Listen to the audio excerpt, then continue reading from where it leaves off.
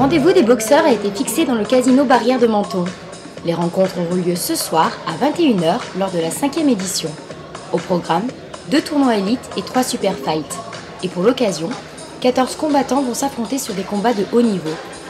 Organisés par le Boxing Karaté Club Menton, les galas rencontrent chaque année un véritable succès.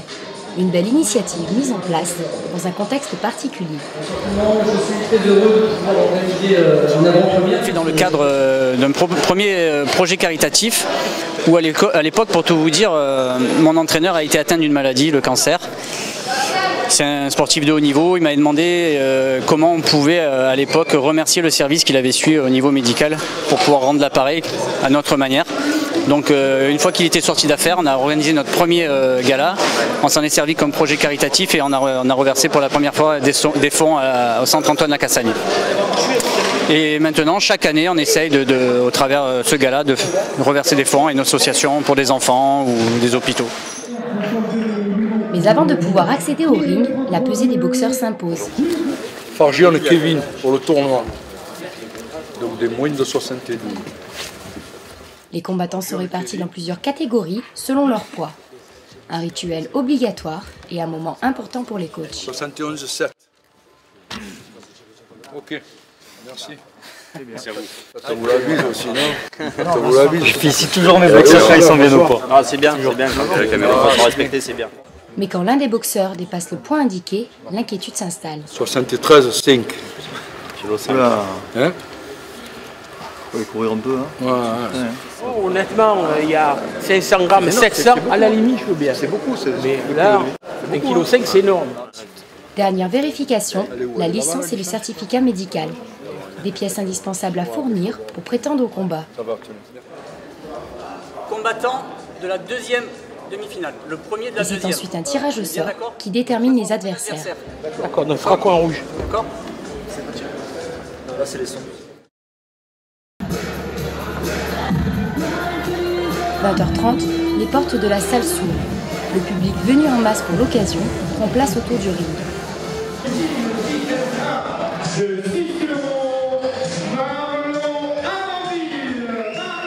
Pour cette belle manifestation, c'est Olivier Taboué, le maître de cérémonie.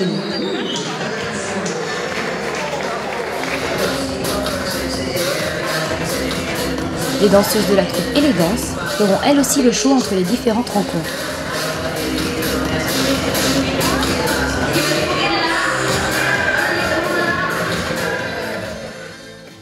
Des loges, la tension est palpable. Dans les coulisses, les boxeurs s'échauffent, écoutent les derniers conseils prodigués par leur coach et se préparent à la rencontre. En fait, on passe une, une huile justement pour chauffer les muscles et ressentir un petit peu moins la douleur. Voilà, avant les combats.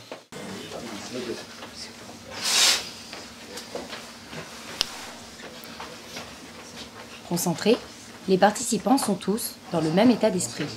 Conquérant. Conquérant. Et là, tu t'es entraîné un petit peu? Oui, oui. Là, on s'échauffe et après, on va l'accélérer un petit peu et après, on va laisser un peu, un peu retomber la pression.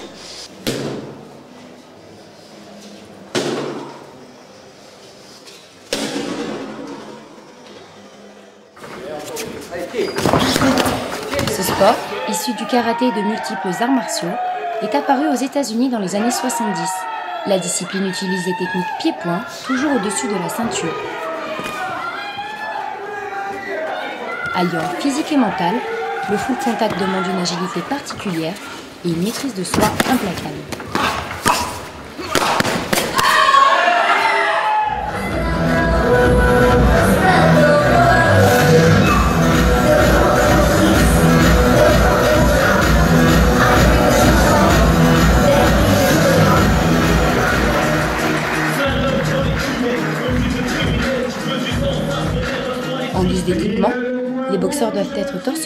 Et porter un pantalon.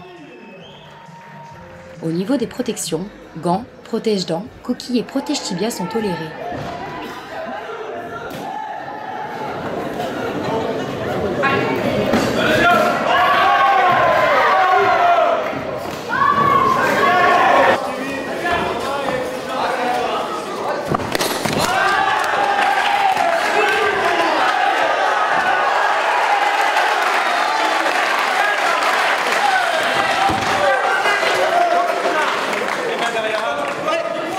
Ce sport reste très strict envers les conduites et les gestes interdits.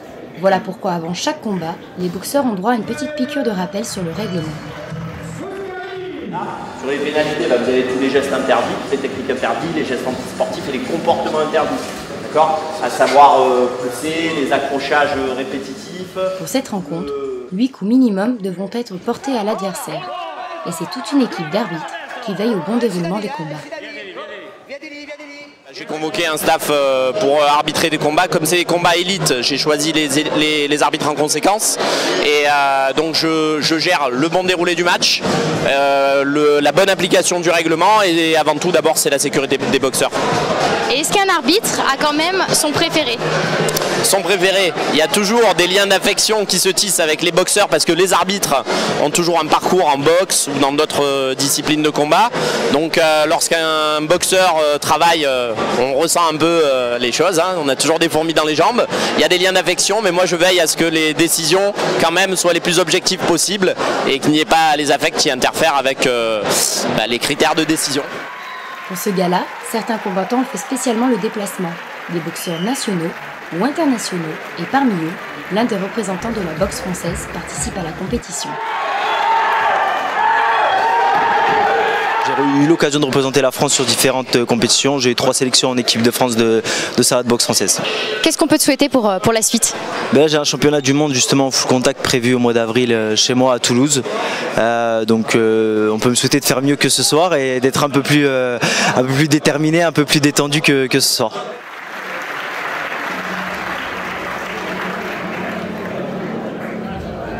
Ce sport de combat laisse parfois quelques traces, des cicatrices font partie du métier.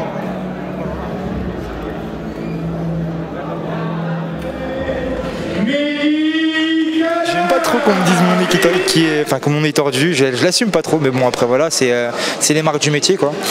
Sinon ouais, je marque assez facilement, même si j'ai la peau un peu bronzée, euh, je marque assez facilement. Donc euh, là j'ai pris deux trois coups, une, petite éraflure à droite à gauche. Et. Mais t'es quand même prêt à remonter sur le, le ring la prochaine fois. Ah bah, D'ailleurs je reboxe demain en universitaire, donc euh, ça va être super marrant parce que les gens vont me rêver avec une gueule déformée.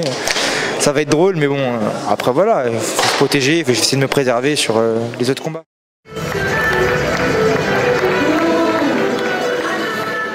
Parmi ces professionnels de la discipline, les filles elles aussi font partie du jeu dans la catégorie des moins de 54 kilos.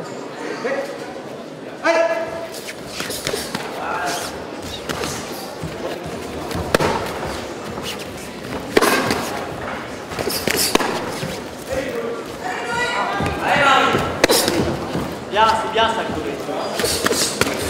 Le combat est en 5 rounds de 2 minutes.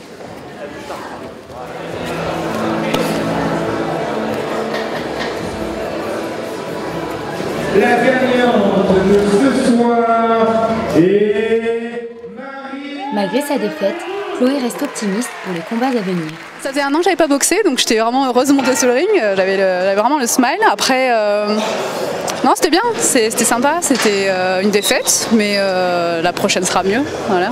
Qu'est-ce qui t'a manqué selon toi ce soir? Les enchaînements, je travaillais sur un coup. Il aurait fallu que j'enchaîne plus pied-point pour pouvoir marquer plus de, plus de choses. Pour cette magnifique soirée, 3 fois 2 minutes. Le full contact requiert beaucoup de concentration, de puissance, de rapidité et surtout de respect. Des valeurs que partage le Boxing Karaté Club de Menton. C'est un sport qui demande beaucoup d'efforts, beaucoup de rigueur, tant au niveau diététique que, que physique, mais aussi mental. Et, euh, et- et comme vous avez pu apprécier, même si les combattants mettent beaucoup, euh, de volonté pour, euh, pour prendre le dessus sur leurs adversaires, le plus important c'est qu'à la fin du combat, ils se font la bise et, euh, et on voit aucune violence qu'on pourrait rencontrer dans d'autres sports.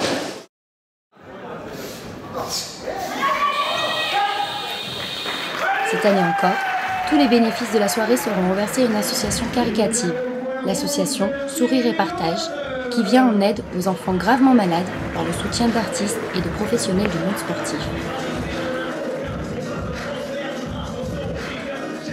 Suis à de personnel très heureux, très heureux d'être ici, mais surtout fier de représenter Monsieur le député maire ce soir, qui vraiment euh, a beaucoup d'estime pour cet événement. Il n'a pas pu venir ce soir, et d'autant plus que bon, c'est un gros- grand événement sportif, mais en plus c'est pour une, vraiment une, quelque chose de caritatif, pour euh, sourire et partage, et ça c'est formidable d'aider les enfants qui sont malades.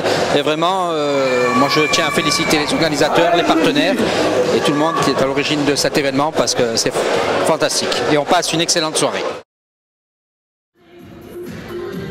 Les boxeurs, l'objectif final reste le même, remporter la ceinture. Une récompense obtenue après un travail de longue haleine et des sacrifices au quotidien. Évidemment, je suis très heureux. Voilà, après, c'est beaucoup, beaucoup de travail, beaucoup de sacrifices, beaucoup de régime. Voilà. Voilà, après, l'entraînement, ça paye. Après, je remercie beaucoup de gens hein, qui sont derrière, parce que moi, je gagne, mais je gagne pas tout seul. Évidemment, mon entraîneur, ma famille, ma femme qui supporte mes absences. Mais bon, euh, il faut, il faut des sacrifices si on veut gagner. hein. Sinon, ce serait trop facile. Qu'est-ce qui a fait la différence ce soir? Bah, c'était très serré la finale, je perds les deux premiers rounds d'un point. Et euh, la différence s'est faite euh, dans les 30 dernières secondes. Je suis allé au bout et lui il a baissé un peu de régime et voilà, c'est, les jurys ils ont basculé là-dessus. Et donc euh, dernier round je le gagne de 3 points, ce qui fait que je gagne le combat 5-4. Donc voilà, je suis allé au bout et c'était le plus important parce que je suis à domicile, il y a ma famille, mon entraîneur, il y a mes élèves du club qui viennent me voir. C'est important parce que moi je leur dis d'aller au bout, donc si j'y vais pas moi, ça sert à rien. Cette ceinture ce soir, c'est le Graal, c'est une victoire, c'est quoi? C'est beaucoup beaucoup de satisfaction. Et j'ai déjà gagné beaucoup de titres mais après c'est différent parce que quand je suis à Paris je suis euh, avec mon entraîneur et tout mais là quand c'est qu'il y a du monde à domicile il y a la famille ça fait quand même une petite pression en plus. Et on a plus des fois le perdre c'est pas grave mais des fois décevoir les gens qu'on aime c'est difficile. Qu'est-ce qu'on peut te souhaiter pour l'avenir? Bah, il me reste pas beaucoup de temps à boxer parce que j'ai 31 ans.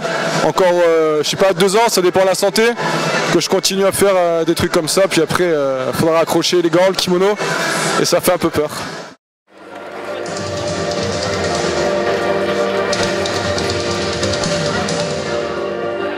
Sous les encouragements de son coach et de son frère jumeau, c'est finalement Mathias qui remporte la deuxième ceinture.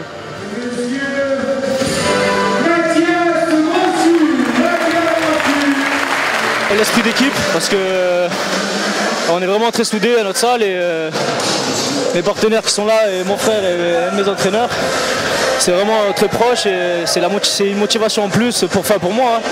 Et euh, même au sein de la salle, et euh, c'est ça qui me motive vraiment. Et je pense que c'est ça qui a joué aujourd'hui, cette petite motivation et l'envie de, de prouver et de faire plaisir à ces gens-là. La ceinture, c'est le Graal, c'est ça? Ouais, ouais, parce que, bien sûr, parce que c'est la première fois que je boxe dans cette discipline. On m'a annoncé qu'il y avait une ceinture à prendre, euh, j'ai cru, mes entraîneurs y ont cru, et c'est un peu la récompense d'un travail très dur et de longs mois de préparation. Donc c'est le Saint Graal, ouais.